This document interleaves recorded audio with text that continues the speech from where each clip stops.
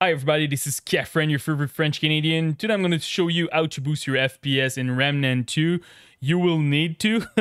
uh, we're going to start by optimizing Windows, and after that we will go inside of the game. So now the best setting for Windows for gaming. So first of all, we're going to search for game mode in the search bar. Make sure that game mode is activated for the past like year. It's pretty good. Uh, you're getting a, decent performance and you're going to make sure that all your resources are focused on the game that you're playing.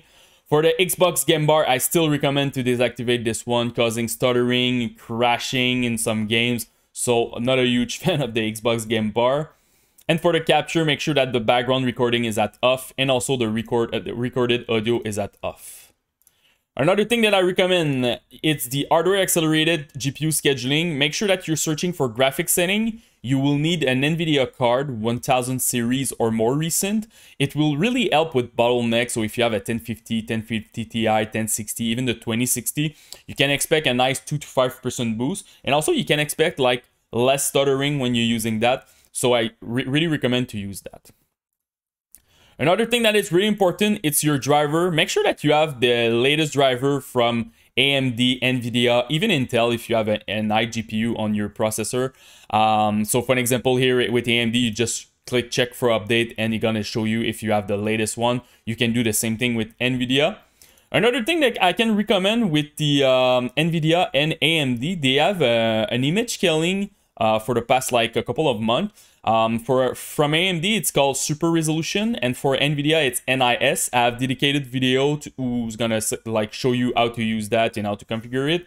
But to explain you quickly what it's about, uh, so you need to enable this. So for example, I'm playing uh, in 2K because my monitor in, is in 2K. I'm going inside of my game. I lower the resolution at 1080p, and the software will scale it back at 2K and with this process, I can save like 15, 20% in my FPS. Also, you can do it if you have like a 4K monitor and you want to do 1080p or 2K. Uh, you can expect a nice boost.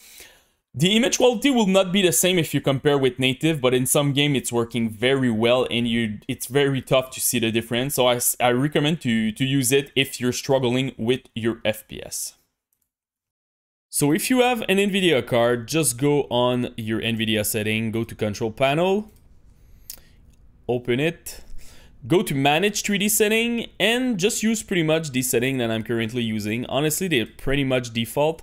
So the first one that you need to change is your low latency mode. If you have this technology, make sure that it's at on. The other one is your if you want to lock your FPS, uh, for an example, you have like a 170 Hertz monitor and you want to stay in your G-Sync ring, uh, range, sorry, you just put your uh, FPS here at like something like 167, something like that. You want to be under 170 Hertz to always stay in your G-Sync range. So if you want to do that, it will do that for all your game. It's a global setting over there. So I'm gonna unlock it and this is pretty much it. If you have access to the change ECC state, I recommend to uncheck it. This will slow your VRAM, so you don't want to use that.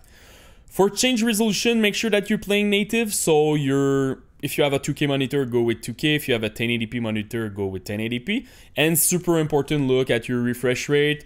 A lot of people are missing this step. They buy like a new screen and by default it's at 60. So use the uh, maximum refresh rate that is available on your uh, monitor. The last parameter will be your G-Sync. So I recommend if you want to use G-Sync, I recommend to, first of all, you need to enable it. And I recommend to use the enable for window and full screen. So if you're playing a game like in borderless mode, it will be applied.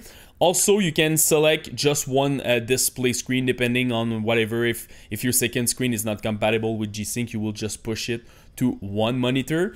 Uh, me, I'm not using it. I have a 4090 uh, for my GPU, so I just want to unlock my FPS. So in majority of the game, I'm getting like 250 FPS, and um, my monitor refresh rate is at 170 Hertz. So I just want to lower my input lag, so that's why I just unlock everything, but it really depends on your situation. So this is pretty much it for NVIDIA. Another thing that I recommend, it's your energy profile. So write energy in your search bar, go to power option. Make sure that you're running something like balance or high performance. Um, on a de desktop computer, it should not be an issue, but if you're playing on a laptop, really make sure that you're using that or a special profile for performance uh, from your brand like Asus, Dell, or whatever.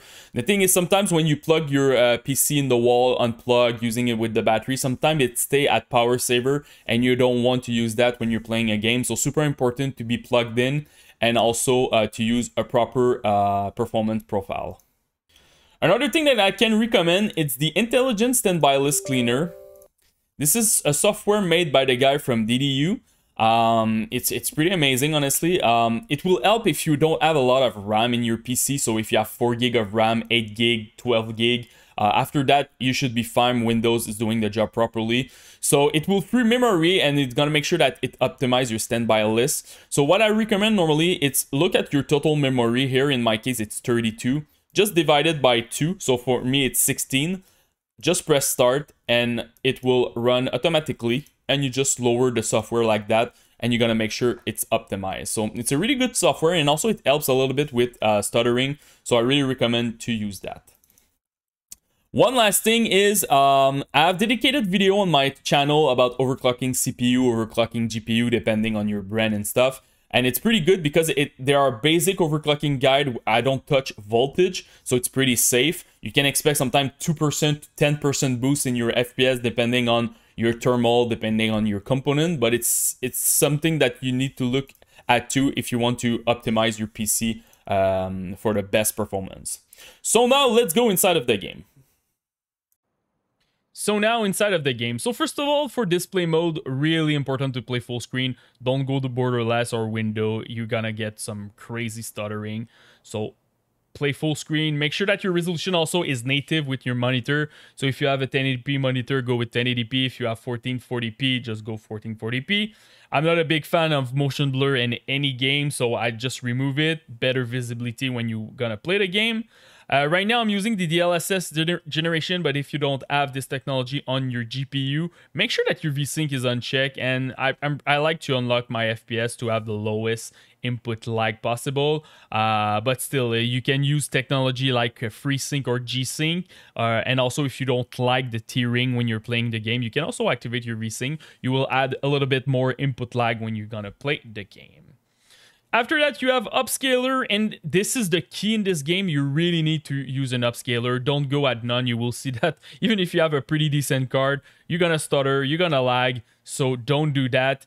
Uh, I really recommend if you have an NVIDIA card, go with DLSS and use the quality one this one. Uh, when you go lower than that the game the game feels very blurry so i'm not a huge fan of it. So this is pretty much the best setting. And if you have an rtx 4000 series car i really recommend to use the frame generation. It's gonna do some magic to your fps so super important if you don't have an NVIDIA card, I recommend to go with the FSR at quality, pretty much the same thing. Uh, the quality is, is lower than the DLSS one in Remnant 2, but still, it's gonna help a lot to stabilize your FPS and you're gonna have a lot more FPS. So I'm gonna put this back at quality.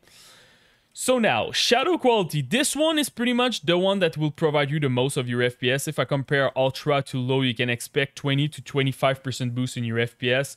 Normally, I should say use medium to have a decent image quality but right now the performance are pretty bad so just go with low you're gonna gain a lot of fps so pretty much go with low with this one post-processing it's 2 to 3 percent for each bracket and 1 percent different between low and medium so i really recommend to go with medium Foliage quality also I recommend to go with medium. Uh, at low the image quality is pretty bad but if you're struggling with your FPS it's gonna help to go with low. You're gonna gain another 3% if you compare with medium. So it really depends where you are right now with your FPS, your performance uh, with your computer.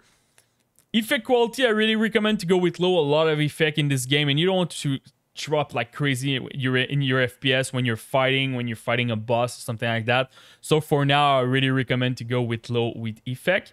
And view distance quality i recommend a minimum of medium. You want to see further in front of you uh, if you can run high but you will see you're getting a lot of drop in your fps it's pretty much five percent for each bracket.